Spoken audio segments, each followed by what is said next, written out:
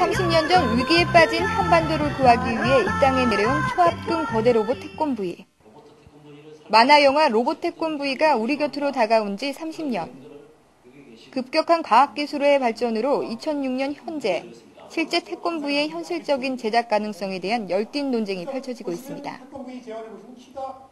동아사이언스와 한국공학할리머는 로봇 태권브이 10대 기술이라는 주제로 지난 25일 서울 예술의 전당에서 심포지엄을 공동 개최하고 한국의 대표적 로봇공학자들이 참석한 가운데 로봇 태권브이 제작 가능성과 함께 로봇과학의 현재와 미래를 논의하는 자리를 마련했습니다.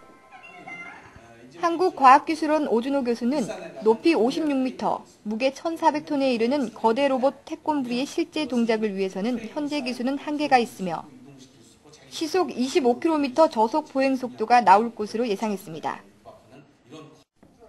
태권브이 비행에 관해 한국대 장영근 교수는 1,400톤의 태권브이 중량을 감안하면 현재까지 최고의 로켓 기술을 적용했을 때 약 200초간의 비행이 가능하다고 계산하고 영화처럼 자유롭게 날아다니는 태권브이를 위해서는 공상과학 소설에 등장하는 반중력 기술, 즉 태권브이 몸무게를 순간적으로 가볍게 할 수 있는 기술이 개발되어야 한다고 덧붙였습니다.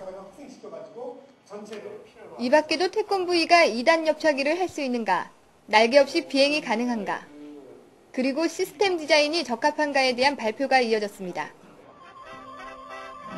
로봇 태권브이 탄생 30주년을 맞아 개최된 이날 심포지엄은 일반인과 청소년들이 미래의 첨단과학 분야인 로봇과학에 관심을 가질 수 있도록 마련된 행사로 향후 로봇과학의 선두를 차지하기 위한 여러 나라들 간의 치열한 경쟁이 예상되는 로봇 산업의 핵심 기술들을 미리 짚어보는 뜻깊은